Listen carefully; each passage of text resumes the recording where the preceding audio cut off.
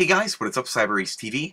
And today we have an overview for you of the official specs of the Google Nexus tablet. Now the Google Nexus tablet was announced today at Google I/O It's a 7-inch tablet and it's going to be shipping out to the United States, Australia, Canada, and the United Kingdom in mid-July, which is about two or three weeks from now. Now to start off, this 7-inch tablet has a 1280 by 800 IPS-based LCD HD display.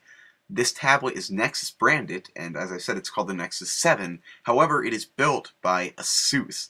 Now, in terms of what we have inside, where this device is going to be running Android 4.1 Jelly Bean. Now, this is so far the only device we know of to be running this new Android software, um, but as far as I'm concerned, it looks pretty solid. Now, this is going to have a quad-core Tegra 3 processor on the inside, has a 1.2 megapixel front-facing camera, and a 1 gigabyte of a RAM. Now there's going to be two variations of this. There's going to be an 8 gigabyte model for a 99, 199 and there's going to be a 16 gigabyte model for 2 of 49 and there's also going to be an SD card slot so apparently you'll be able to expand your memory.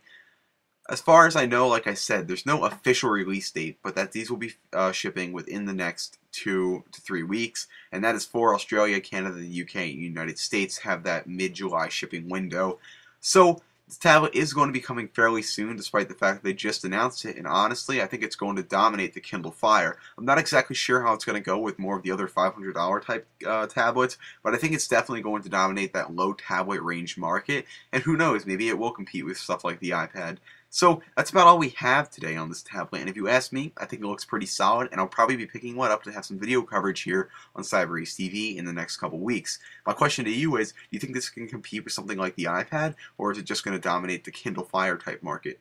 That's my question, so leave your comments down below. And, as always, I'm CyberAce TV, and thanks for watching this overview of this new device. Thanks for watching.